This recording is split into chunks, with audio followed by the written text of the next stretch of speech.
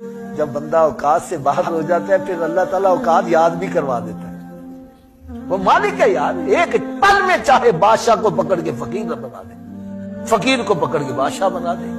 वह तो इज्जम मंतशाह वह तो जिल्ल मंत बियदिकल खैर इन का इंसान को अपनी औकात नहीं भूलनी चाहिए।